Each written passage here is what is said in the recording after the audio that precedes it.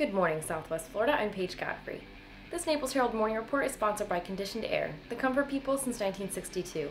This morning we'll tell you about gun proposals having a better shot in the Florida Senate, Montverde wins the 2016 City of Palms Classic, and more.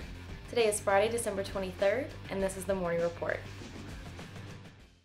A measure that would expand how and where Florida's more than 1.67 million concealed weapons license holders can carry handguns may have an easier path through the Senate in 2017 than in the past.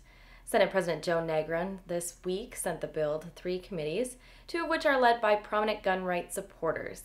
The bill would need to make it through the committee before it could be considered by the full Senate during the 2017 legislative season, which starts in March. You can read more about it at leeherald.com. Former National Security Agency contractor Edward Snowden has remained in contact with Russian intelligence services since he arrived in Moscow three years ago, according to a declassified report on a congressional investigation released Thursday.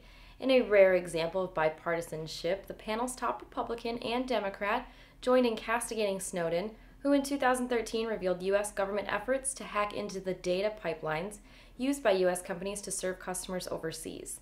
The programs collected the telephone metadata records of millions of Americans and examined emails from overseas.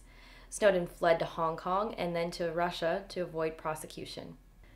From the pregame hallway before taking the court, 2016 City of Palms Classic Championship qualifiers Montverde and Memphis East engaged in a chant-off dance-off interaction, only witnessed when a big moment is about to take place.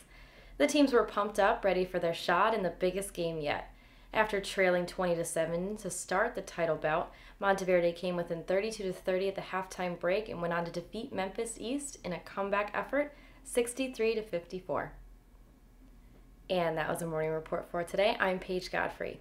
The morning report airs Monday through Friday at 9 a.m. right here at naplesherald.com. And don't forget to check out our lunch break that also airs Monday through Friday at 12 p.m. Thank you for watching.